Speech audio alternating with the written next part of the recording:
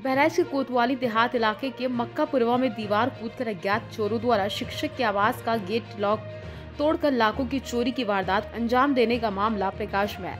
मकान मालिक शिक्षक सुनील दत्त शुक्ला का कहना है, घटना के वक्त उनका पूरा परिवार गर्मियों की छुट्टी को लेकर गाँव गया है। इकतीस मई 2024 से उनका परिवार गाँव है। एक जून वापस आना था, लेकिन तेज आंधी पानी के कारण नहीं लौट सके। जब दो जून को अपने घर लौटे तो उन्होंने अपने घर का गेट लॉक टूटा पाया। जिस बात की जानकारी उनके द्वारा पुलिस को दी गई, मौके पर पहुँची पुलिस ने घटनास्थल का निरीक्षण किया और मामले के खुलासे का आश्वासन दिया। मकान मालिक सुनील दत्त शुक्ला का कहना है, उनके मकान में तकरीबन पंद्रह लाख की चोरी, ढाई लाख कैश, दो सोने की चेन, एक किलो कच्ची चांदी, पाँच जोड़ी पायल, एक कमरबंद, एक मांग टीका सोने की नतनी बिछुआ पंद्रह साड़ी दस जोड़ी जेंट्स के कपड़े दस जोड़ी उनकी बेटी के कपड़े चोर उठा ले गए। इस घटना से परिवार में कोहराम मचा। घटना के बाद से परिवार वालों का रो रो कर बुरा हाल है। बहराइच से दैनिक भास्कर के लिए अंसारी की रिपोर्ट। हमारा नाम सुनील दत्त शुक्ला है। हम शिक्षक हैं प्राथमिक विद्यालय बिश्नापुर बनकट।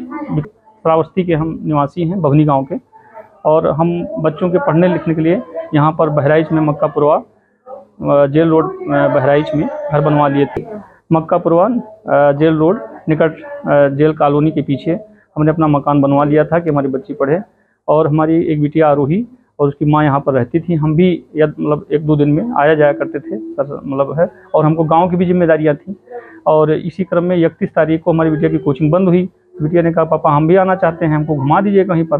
तो बिटिया भी चली गई और उसके साथ मम्मी भी चली आई इकतीस तारीख को। और तब तक कोई दिक्कत नहीं थी। फिर एक तारीख मतलब आज की सुबह जो है साढ़े पाँच बजे पड़ोसी ने बताया कि आपका मेन दरवाज़ा तो बंद है गेट बंद है लेकिन अन्य जो दरवाजे हैं सब खुले हैं पंखे चल रहे हैं लाइट जल रही है ये क्या हो गया? तो हमें चोरी की आशंका हुई तो हमने कहा कि ठीक है देखे रहिए हम हम आ रहे हैं।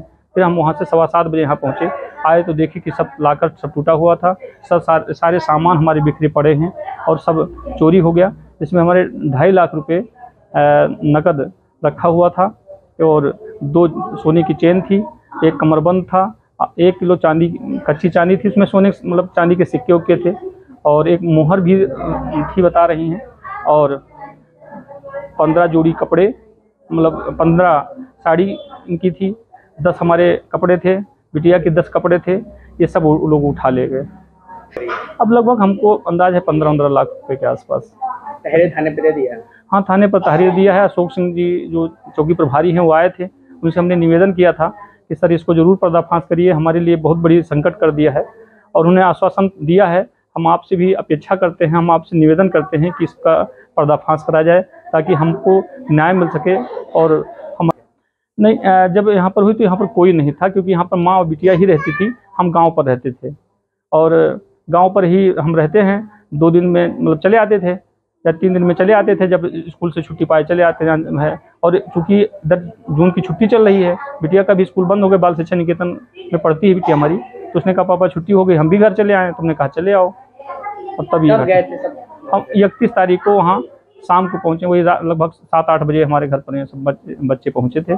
और एक तारीख को आना था लौट के लेकिन वहाँ आंधी मतलब बहुत ज़ोर से आई थी एक तारीख को इसकी वजह से हम नहीं लौट पाए। तो दो मतलब दो रात तारीख की रात में ये